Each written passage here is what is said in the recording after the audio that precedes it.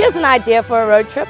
Take two extremely different people from two very different backgrounds, throw them in a car and ask them to travel around southern Africa together in search of adventure, food, culture, hidden gems. I mean, what could possibly go wrong? Hmm. Hold on, guys! That's On the Fly. Starts Friday, the 14th of October from 8 p.m. only on SABC3.